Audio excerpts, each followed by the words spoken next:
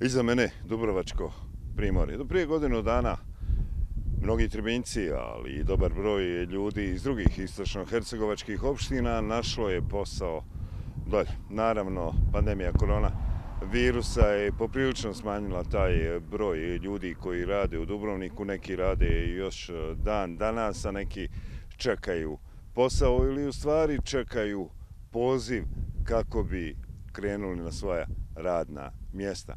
Malo ćemo govoriti o njihovim iskustvima i šta očekuju, šta će im donijeti pandemija koronavirusa u novom prelasku granice i rada u Hrvatskoj. Još je nepoznanica hoće li krenuti turistička sezona na Hrvatskom primorju, ali turistički radnici iz ove države već traži radnu snagu na prostoru Bosne i Hercegovine. Jefimija Ot je već dvije prethodne sezone radila u Dubrovniku. Kaže da je izuzetno zadovoljna odnosom poslodavca prema njoj. Prije svega sam zadovoljna um, uslovima u kojim radim i jednim međuljudskim odnosima. To je na prvom mjestu što ja izdvajam. Dakle, striktno radno vrijeme, slobodan dan.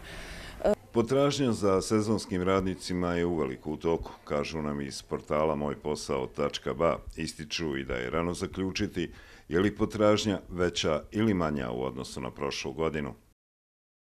Na našem portalu nedavno je objavljeno više sezonskih poslova, najviše od strane poslodavaca iz Hrvatske. Najčešće su traženi različiti profili radnika iz ugostiteljstva i turizma.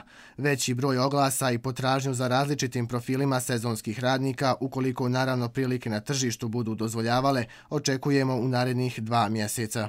Otova nam kaže da postoje neke novine u zakonu o zapošljavanju u Hrvatskoj, koji sad traži da se prvo zapošljavaju državljani Hrvatske. Ukinuta je kvota na radne dozvole, što je prije bio problem. Ali moraju za određena zanimanja pozivati e, sa svoga zavoda za pošljavanje, pa tako onda nas i tako dalje. Međutim, oni su zaista optimistični. Oni, oni se nadaju negdje prvog petog da bi to trebalo da, da krene.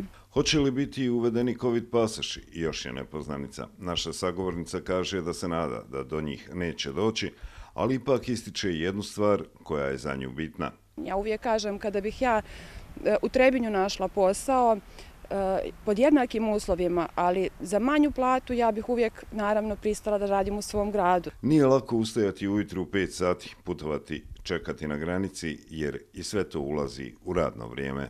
Zvanično saznajemo, ljudima je dole dobro, rade, plaćeni su i poštovani su kao radnici, ali taj rad e, u Dubrovniku i na tom dole području Hrvatske donio i određene probleme.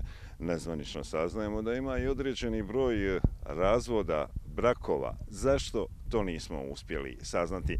Sa Ivanice, sa pogledom na Dubrovačko primorje, Nebojša Kolak.